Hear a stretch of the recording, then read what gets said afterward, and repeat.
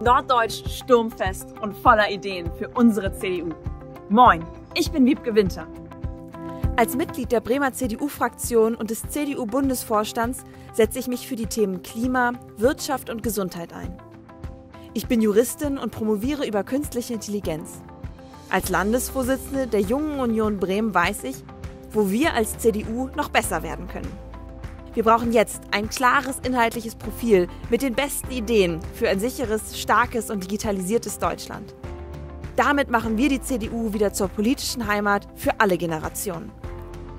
Mein Name ist Wiebke Winter und ich bitte um Ihre Stimme, denn es ist Zeit für junge Köpfe.